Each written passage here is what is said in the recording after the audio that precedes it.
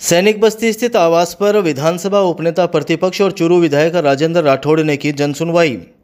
चूरू जिला मुख्यालय के सैनिक बस्ती स्थित आवास पर विधानसभा उपनेता प्रतिपक्ष और चूरू विधायक राजेंद्र राठौड़ ने मंगलवार को लोगों के अभाव अभियोग सुने। इस मौके पर ग्रामीण और शहरी क्षेत्र से आए जन सामान्य व जनप्रतिनिधियों ने राठौड़ को समस्याओं के बारे में अवगत करवाया। राठौड़ ने संबंधित अधिकारियों से दूरभाष पर चर्चा कर समस्या समाधान का प्रयास किया। इस दौरान लोग लंपी स्किन डिज़ीज़, पानी, बिजली, चिकित्सा और स्वास्थ्य, शिक्षा, मनरेगा कार्यों, पारिवारिक मामले आदि को लेकर राठौड़ के समक्ष पहुँचे।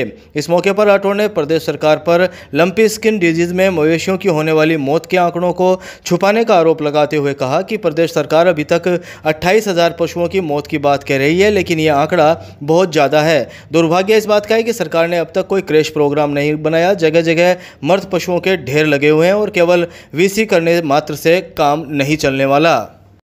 देखिए, सरकार ने जो आंकड़े जारी किए, अट्ठाईस हज़ार मौतें अब तक हुई है, मैं समझता हूँ ये आंकड़ा अगर एक बिंदी और लगा दे, दो लाख अस्सी हज़ार भी मौतें बताएँ तो उससे भी कम नहीं होगी।